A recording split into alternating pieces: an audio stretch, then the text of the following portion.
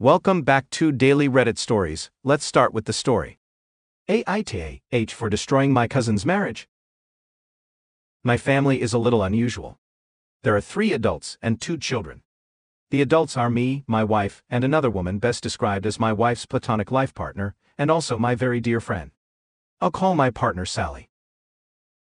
Sally has lived with us for 20 years. The kids call her Ma. We live in a four bedroom house, and Sally and the kids each have their own bedrooms. Sally is aromantic and asexual. She and my wife love each other very much, but platonically.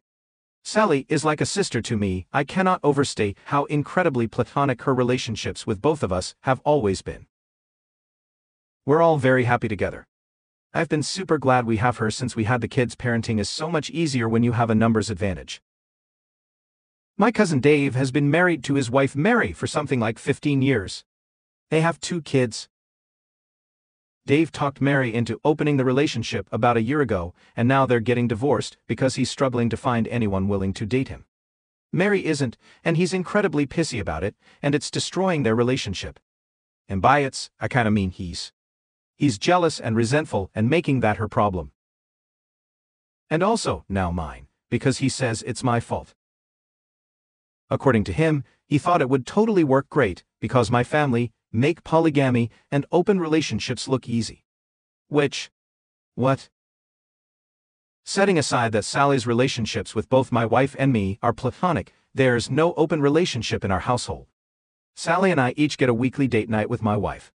I take the kids on her night, and she takes them on mine. I did say parenting is easier with the numbers advantage. I think my wife and I would have significantly more quality time together than we would have if it had just been the two of us. When the kids can't sleep, they go to Sally, so my wife and I are never disturbed after we go to bed. Sometimes Sally and I go to games together, and my wife takes the kids then because she's not into sports. No one is dating anyone from outside our house. These are committed relationships that are, to all intents and purposes, exclusive. None of us has ever mentioned seeing anyone else. Even if we were which again, we're not. I don't see how that would make me responsible for him treating Mary terribly because he's jealous. Somehow, he was apparently convinced that he and his beer gut would get all the girls, but no man would be interested in a charming, kind woman who keeps herself in reasonable shape and bakes the best cupcakes you will ever taste. I'd have dismissed this out of hand, but my aunt, his mother, and like six other family members agree that I'm the ah and have been insisting I should apologize to my idiot cousin and help him talk Mary into closing the relationship and staying with him. I like Mary. We've been friends for 20 years and she's a good person. Also friends with my wife and Sally a W, a wonderful aunt to my kids. Given the choice between her and Dave, I'd keep Mary and her kids in the family. Someone in my family is insane here. Is it me or them? Who's the ah? TL, DR, my cousin Dave persuaded his wife Mary to open their relationship, and now he's pissed she's dating, and he isn't. He was blaming me because he claims my extremely closed relationship situation made open relationships look easy, just because there's a third adult in my family, a bunch of other people, were hassling me to take the blame. So far, so stupid, right? Turns out that, unbeknownst to me, Dave's sister, Tina, reads the sub. A lot. She saw my post and immediately figured out that it was me posting about her brother. She won't tell me if she was one of the commenters or not, but for those of you who called Dave the golden child, Tina says you were right on the money. She called me this morning. And like she seemed to find that really validating, and I have literally never heard her sound so happy. She's usually pretty depressed, so thanks, everyone who decided to read into their family dynamics, you did her a solid. That was about 8 am. I had to get off the phone to head to work, and then at about 10, I got a text from my wife that just said come home now. I got another one just as I was starting the car that said the kids are fine which I really appreciate because that at least let me change gears from panic to concern. At some point, we might discuss that. It would be good to include that in the first text. Anyway, that is not the point. I got home as fast as I safely could. I pulled up on the verge and tried to go in the front door, but the handle was handles broken. Mary's car was parked in the driveway. I had to go in through the garage. Inside, there was my wife, Mary, and Mary's eldest, Jack M12. Mary was banging around the kitchen, and Jack was crying on my wife. As I understand it, what happened was. Just before she called me, Tina texted her brother a link to the post and made some kind of comment about it. I don't know what exactly she said, but Dave went into a rage. Like the kind I thought he grew out of when we were teenagers, breaking shit and screaming. I thought the last time he did it was the time he hit my little brother, and I beat the shit out of him. I'm not saying it was right, but we were kids. I'm also not saying I'm sorry, to be honest. And then he hit Mary. She's got a bruise coming up on her face. Fuck, I'm shaking writing this. I feel like it's my fault.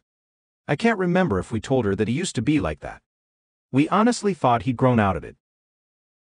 Mary managed to get the kids in the car and drove straight to our place because she knew there'd be someone home. Sal is a stay-at-home mother, and my wife works from home some days, and there's just generally someone home. Dave followed and tried to force his way in. Apparently, my expensive security door was worth the money because he managed to damage the handle, but the door stayed closed. Seems he gave up and ran when my wife yelled that I was on my way home. Jack burst into tears while he and I were moving furniture, so we talked and hugged for a bit, and now he's having a lie down in my bed because he was kinda run out. We're waiting for a locksmith to fix the door as well. After that, we're going to take him and Mary to the police station to make a report, give statements, and do whatever's involved in all that. Sally took our kids and Mary's youngest to my parents' place in case Dave came back. They're too young for this shit, but Jack refused to leave his mother.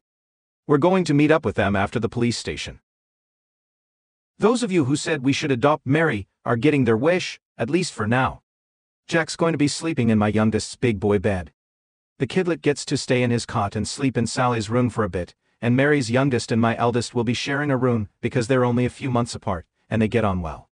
Mary's sleeping on our couch until we get all this figured out. My youngest will probably think this is the best day ever. He hates his big boy bad, and he's going to get a reprieve from the transition, plus, he gets to share a room with his ma, and there are cupcakes in the house because Mary stress bakes, and our kitchen counter is covered in cupcakes.